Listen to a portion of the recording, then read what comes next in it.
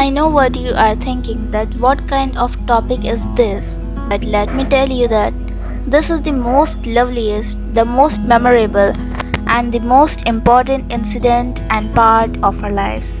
Actually, this is the place where we started to learn that how the world is.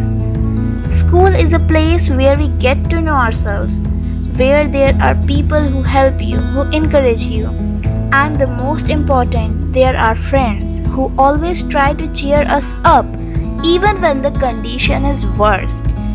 And in the end, I have to say something to those who are still studying in school that if in future you ever create a time machine, then you can go in the past and can live and see the moment of your school, but you will never be able to recalibrate the moment. So make sure that you live the best moments of your life there.